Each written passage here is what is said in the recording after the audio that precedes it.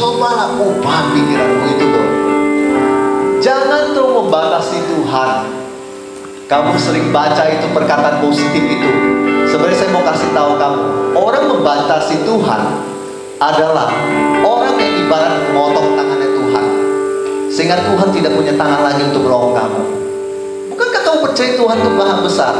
Seperti yang saya percaya bahwa Tuhan besar dan kamu lihat itu KKR bisa terjadi karena Tuhan, bukan karena kehebatan saya.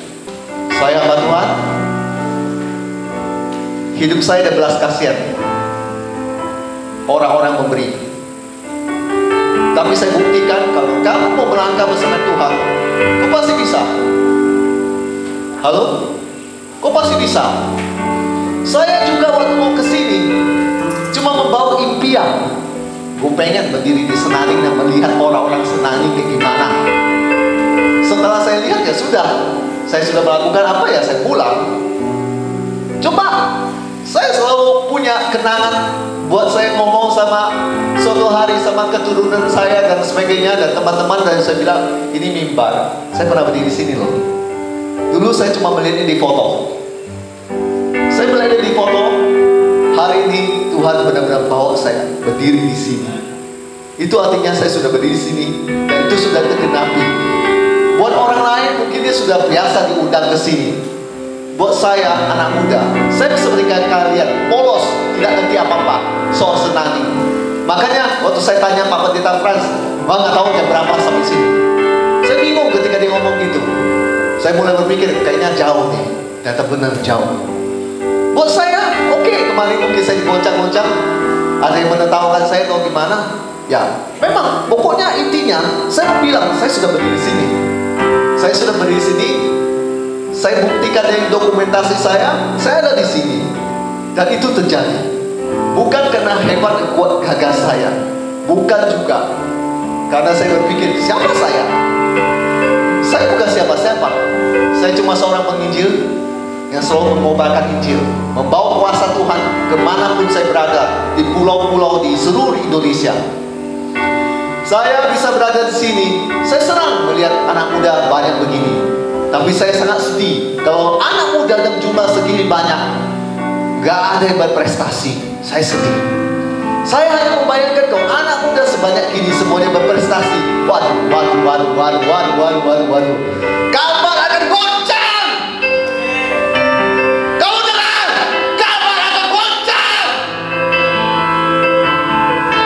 Saya berani teriak begini karena saya mau membuktikan dan membenci dosa. Anak mudanya berprestasi. Gak ada lagi namanya kemiskinan di desa. Karena anak mudanya sibuk dan sungguh-sungguh bekerja. Dia ada ladang, ada lahan, apa pun yang usahakan. Jangan biarkan lahan itu nganggur. Kalau kalian gak cinta lahan kalian, kalian izinkan saya berada di lahan kalian. Gak usah lama, 10 hari saya garap garap lahan kalian. Dan kalian akan gigit jari. Kenapa? Karena saya selalu dipenuhi dengan pikirannya Allah. Saya rindu membangun kerajaan Allah di mana pun saya berada. Saya rindu banyak orang saya baptis di sungai-sungai. Saya senang membaptis orang di sungai-sungai. Di GPSK saya tahu saya nggak bisa. Tapi di tempat-tempat lain saya selalu membaptis orang, merendam orang semua.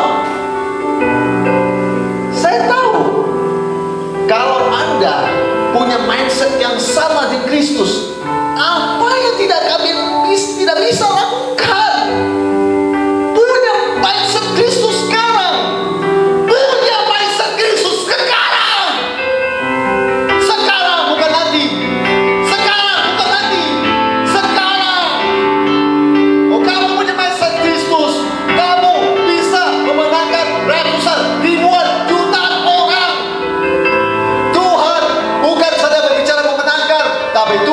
bilang setiap orang karena aku, karena dia meninggalkan ladangnya, pekerjaannya, rumah tangganya siapa pun, dia akan menerimanya kembali seratus kali lipat di bumi ini dan di surga.